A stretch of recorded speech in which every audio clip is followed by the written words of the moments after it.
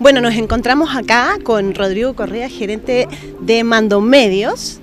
Hola, ¿cómo estás, Rodrigo? Hola, ¿qué tal? ¿Cómo estás? Muy bien, cuéntanos un poco eh, cuál es el rol que cumple Mando Medio en el Congreso. A ver, este es un rol bastante de apoyo, estamos como, como auspiciadores del Congreso IODA 2018 y estamos aquí aportando con contenido, con presencia y también con conocimiento en todo lo que es desarrollo organizacional. Estuve escuchando un poquito tu conferencia, es súper interesante. Eh, cuéntanos algunos puntitos importantes de lo que de lo que escuché, A ver, a mí me tocó hablar una temática que es importante el día de hoy, que tiene que ver con el entrenamiento, el aprendizaje, la capacitación, la formación, como algunos dicen, eh, cómo hacerla de manera efectiva, que tenga sentido, que las organizaciones hoy día eh, promuevan lo que es entrenamiento, pero que no se vayan al extremo de generar muchas acciones, mucha, mucha chaya, que en algunos casos se puede llamar, pero, pero que aporte a los colaboradores y que aporte también a la organización, a la empresa. Es decir, la estrategia del negocio tiene que estar muy linkeada con todo lo que tiene que ver con, la, capacitación que se va a entregar. Genial.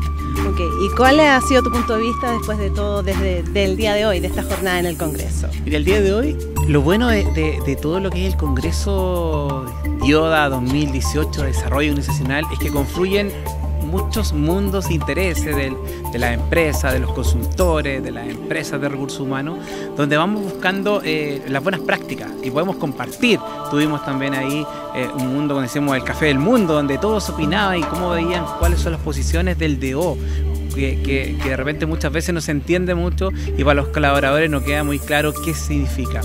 Eh, yo creo que, esto eh, son iniciativas que, hay que promulgar, que hay, que apoyar también. Por eso, gracias a la Universidad Diego Portales que, facilitó su espacio, a todos los organizadores de Dioda Chile y, también a todos los colaboradores, a todas las empresas que pudieron ser convocadas el día de hoy para hablar de, lo que es la gestión de personas, lo que tiene que ver con, los que movilizan un país, eh, que son los trabajadores, que son los colaboradores y algo que, también es súper importante, que cada acción que realicemos en recursos humanos tiene que tener un sentido, que sea práctico y concreto.